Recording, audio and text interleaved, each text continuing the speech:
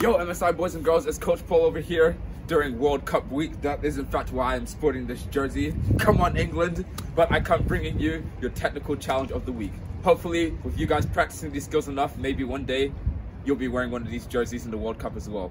We'll see. Maybe for USA, maybe for England, whatever country you're from. But you gotta make sure you do your practice. Anyways, let's get this challenge on. So for this challenge, we will be freestyle dribbling through the cones for 30 seconds. And while we do this, we want to make sure that we be creative and have fun with it. Here we go.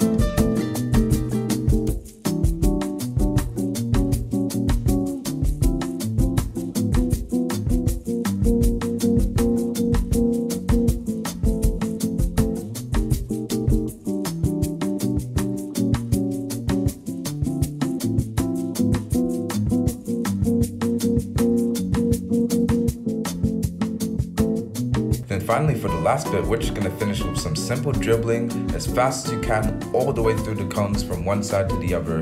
Just do it for 30 seconds.